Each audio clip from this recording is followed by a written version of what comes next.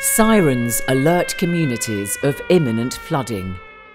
Farmers grow drought-resistant crops as poor rainfall dries the land.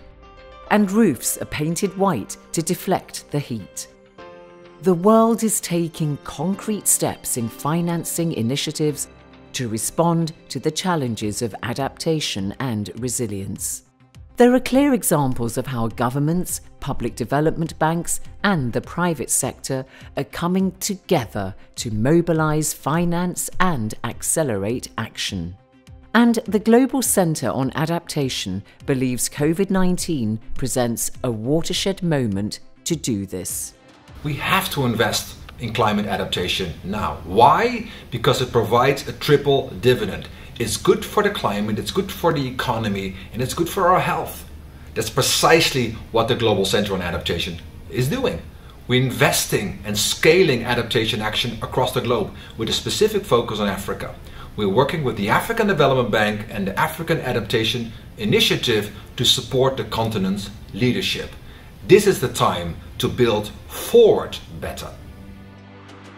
Africa, which accounts for a tiny fraction of total carbon emissions, welcomes this greater global attention on adaptation and resilience. And the African Development Bank is stepping up its commitments. Prioritizing resilience in Africa is therefore an imperative. Accordingly, the international community must pay more attention to resilience building, which also makes economic sense, considering that investments in resilience are projected to yield benefit to cost ratios of between 2 to 1 and 10 to 1. Access to climate finance to, at scale is key to building resilience in Africa. This is an area ideally suited for public development banks intervention. This year alone, Africa needs 7 to 15 billion to address its climate impacts in addition to the 114 billion to deal with the economic impacts of COVID-19. Yet, only 57 billion has been mobilized uh, for the continent to date. On its part, the Africa Development Bank has made excellent progress with regard to climate finance. In order to generate more funds, multilateral banks are using innovative financial instruments. The EBRD, for instance, has issued the first ever climate resilience bond. We are proud of the $67 billion of financing for climate resilience that the multilateral development banks, including EBRD, have provided over the past decade. However, this is not sufficient. Instead, we need to raise our ambition and unlock the potential of financial markets. And multilateral institutions, such as the EBRD, can play a vital catalytic role. Last year, the EBRD issued the first ever climate resilience bond, raising $700 million from capital markets for climate resilience investments across our region. And we intend to replicate these issuances on a regular basis. With this experience, we stand ready to work alongside others to build a marketplace for innovative financing instruments, such as the mentioned climate resilience bonds. And we are delighted to work alongside the Global Center on Adaptation and the Climate Bonds Initiative to further this important area of financial innovation. The private sector is showing strong leadership, such as through the newly launched CCRI, the Public Private Sector Coalition for Climate Resilient Investment. CCRI is an organization composed of over 50 uh, public and private member organizations from across the value chain that are interested in addressing climate resilient investment. These projects will generate optimum climate risk adjustment returns in both the developed world and in emerging economies. So in this way, CCRI will generate and mobilize client smart capital that will produce more resilient investments, more resilient assets that will protect lives, livelihoods, and incomes for exposed population both in the years and the decades to come. In 2017, the InsuResilience Global Partnership for Climate and Disaster Risk Finance and Insurance was created to bring together countries, civil societies, international organisations, the private sector, and academia to help vulnerable communities. Under the InsuResilience Global Partnership, we have been supporting programs in over 75 countries with more than half a billion euros to scale up climate and disaster risk finance and insurance solutions embedded in comprehensive risk management.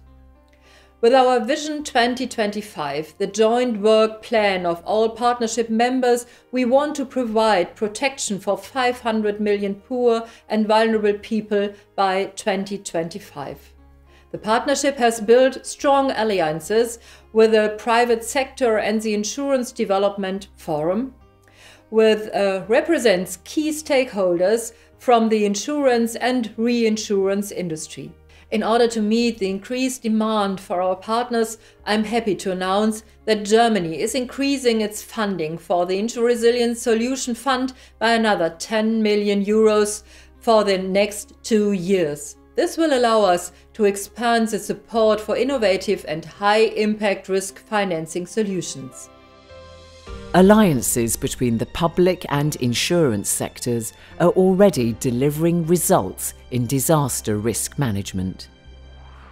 Insurance companies are concretely developing projects.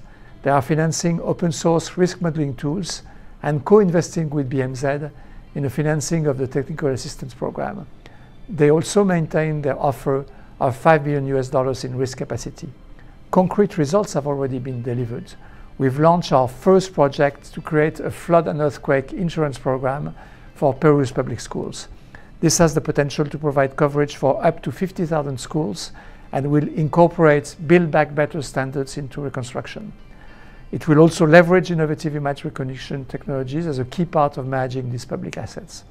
It also sets the course for securing other public assets such as hospitals, bridges, and roads. The Insurance Development Forum is a public private partnership led by the insurance industry and supported by international organizations, including the World Bank and the United Nations.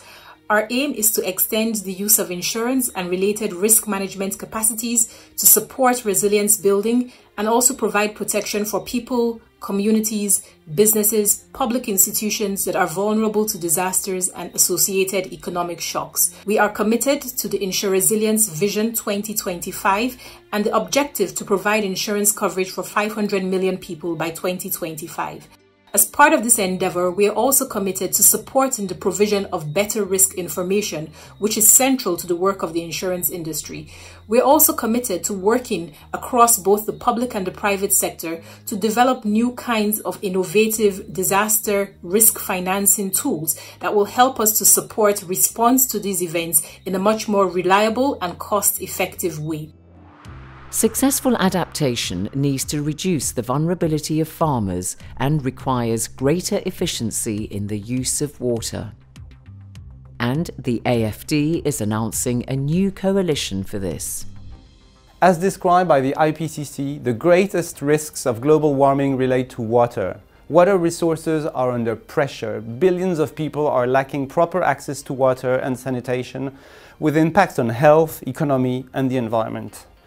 The COVID-19 pandemic is a brutal reminder of the need for such basic services. As water drives resilient countries, we are calling all public development banks, whether multilateral, bilateral or national, to develop financing for water and sanitation and to foster cooperation among them. A working group will be launched during the Finance in Common Summit and we are inviting all PDBs to join us in order to build a water finance coalition. We count on you. And the Dutch government, in collaboration with FMO, its development bank, is urging greater collaboration and cooperation on climate adaptation. COVID 19, climate change, and conflict force us to think in a new way about development. The post COVID recovery should better resist future shocks and enhance resilience, while putting the most vulnerable first and bringing us closer to achieving the SDGs and the goals of the Paris Agreement. investing in climate adaptation supports this through enhancing resilience and reducing inequalities. The Dutch government puts climate adaptation high on its agenda. I want to share two examples with you. First, the Dutch Fund for Climate and Development. It finances business opportunities for climate adaptation in vulnerable landscapes. And second example, January 25, the Netherlands will host the Climate Adaptation Summit with the ambition to inspire larger investments from private and public actors worldwide in climate adaptation. You're welcome to participate and to contribute. Today's event marks a renewed commitment for greater collaboration ahead of the Climate Adaptation Summit in January 2021. As countries look forward to rebuilding after the COVID 19 pandemic, recovery plans in this decisive decade must include more investment and real action on climate adaptation and resilience.